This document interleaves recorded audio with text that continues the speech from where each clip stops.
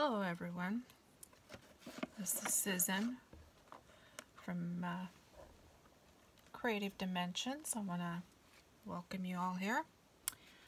This is step two on the birdhouse.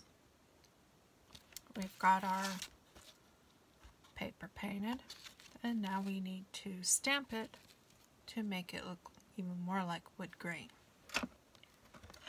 I have my block and a stamp that has lines on it. It's not really a wood grain stamp, but if you've got a wood grain stamp, great, but I don't have one. So this is the closest I'm going to get. So, get your ink out. I'm using black ink. It's water-based. Dye. And if I can get it open.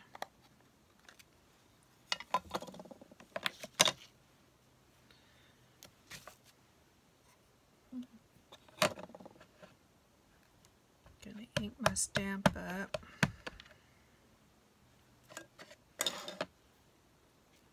we're going to start at the bottom.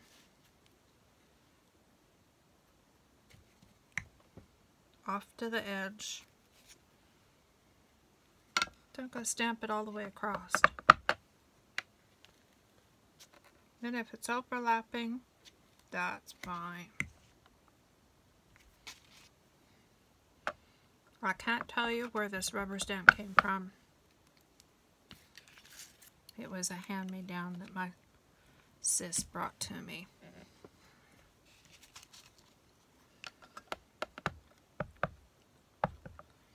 The block that I'm using is a Bo Bunny. It came from Tuesday morning.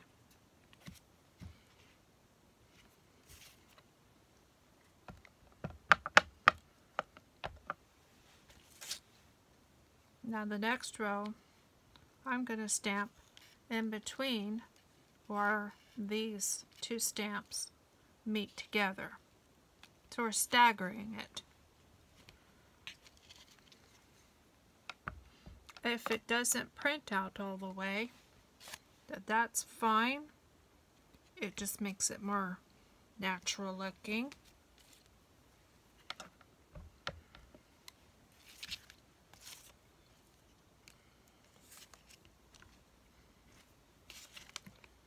I want to tell you a bit more about that magazine where I discovered the birdhouse. I wanted the birdhouse, but I didn't have balsa wood. I didn't have styrofoam board. And so I decided, well, let's try making it my way.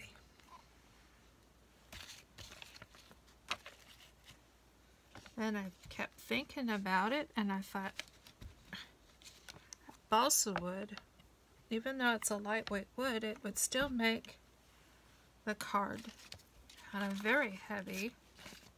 It wasn't impressed with that idea.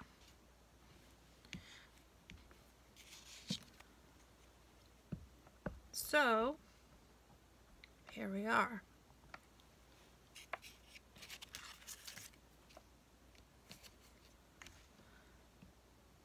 So instead of using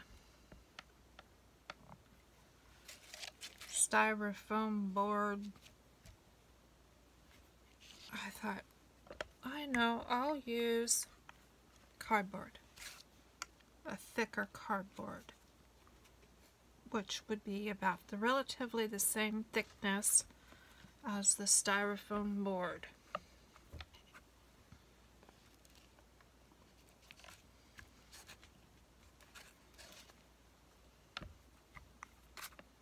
Now as you're stamping this out, and it doesn't come out straight, that's fine.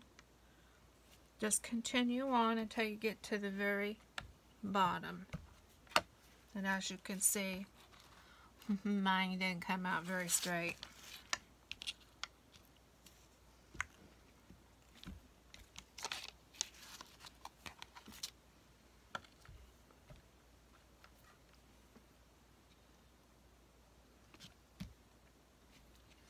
I did add some green to this, oops, to this um, part of the chipboard. I wanted to see how it'd turn out by adding a little green to it. And see, we're done with the stamping. Now, one of the other things I did, I wanted to, I've got ink all over my hands again. I wanted to, uh, yeah, got ink on my hands.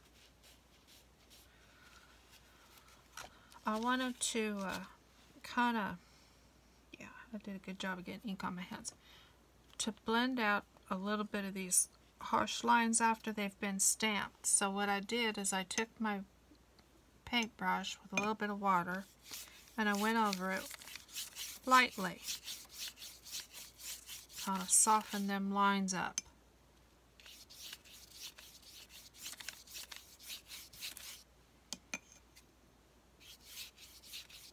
I'm probably being a little too picky about this. But I wanted it to look as realistic as I could get it.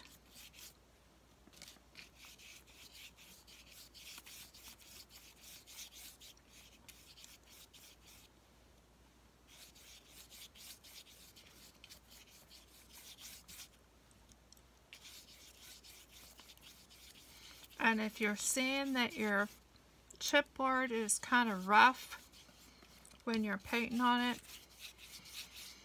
that's normal. And that's okay. Because then it'll give the look and the feel of wood.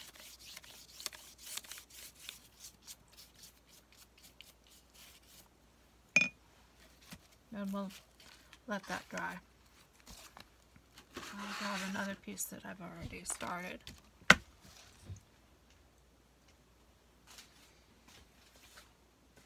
The next um, piece that you're gonna need is some thick cardboard. See how thick that is?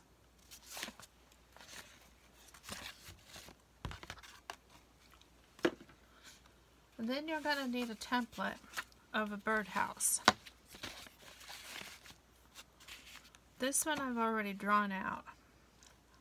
I used the same pattern that came out of the magazine and I noticed that it wasn't as uh, straight.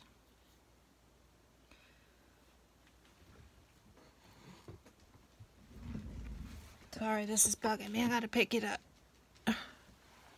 Can't stand have things knocked into the floor.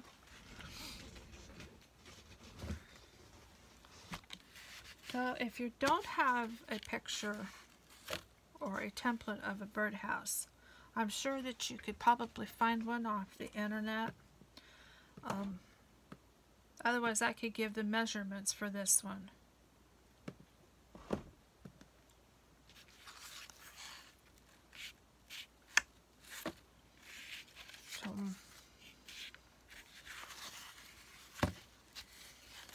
Let's see. I should have measured this out.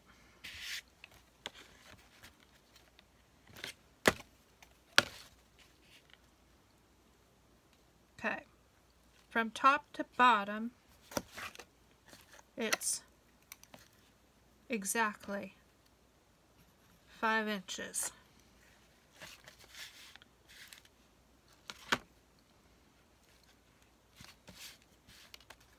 From width to width,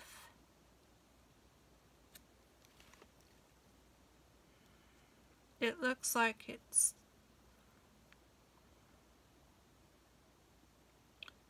four and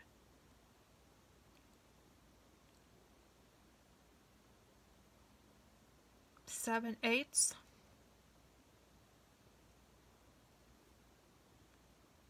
So there's four, four and a half, and I believe that's seven eighths of an inch wide.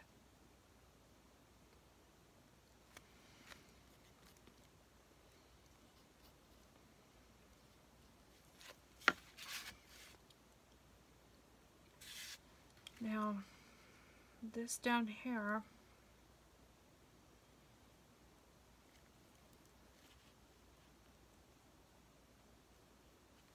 two and six eighths of an inch.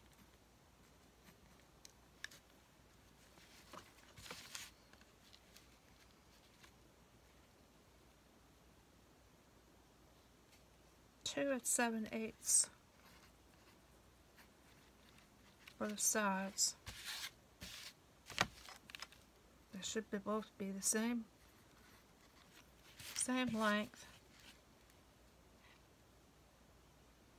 Yeah, two and seven eighths.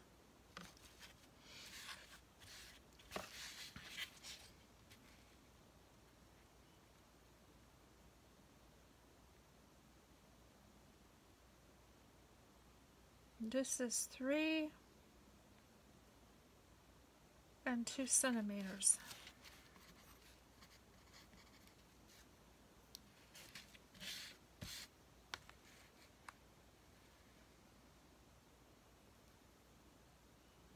See, that one's completely off. It should be three and two cm, but it's not. And this one here at the top is one inch and two centimeters.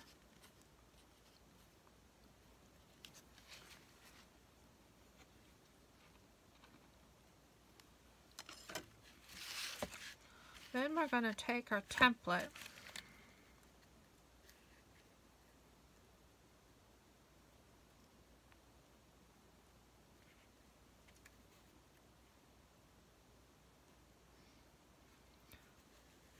and we're going to put it on top of this cardboard. I wonder, wonder if I could squeeze it right out of that. Oh, pretty close.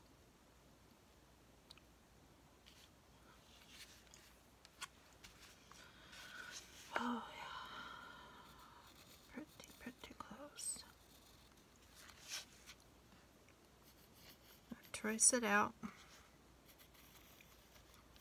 Then you take an X-Acto knife and you uh, cut it cut it out. take your time cutting it out. Because this cardboard is so thick.